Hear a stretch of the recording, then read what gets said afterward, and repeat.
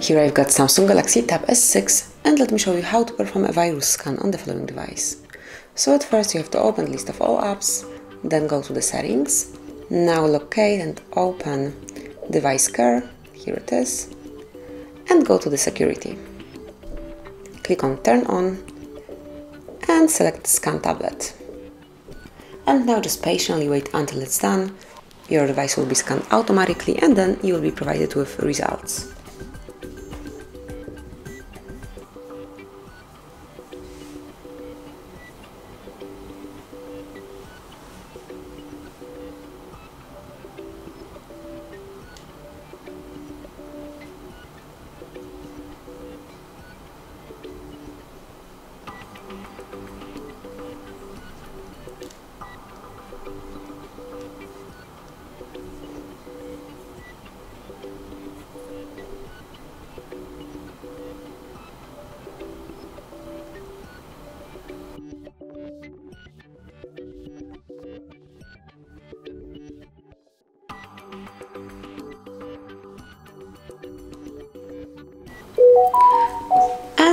As you can see, that's it. Your device is secure, so you can check it whenever you want to if you have any doubts, but then just use your device in a normal way as, as you can see this one is secure.